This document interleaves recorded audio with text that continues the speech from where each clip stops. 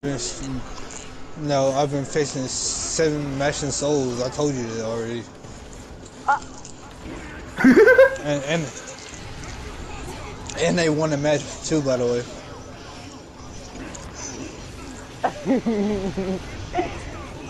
I, I swear to God, you can't do that.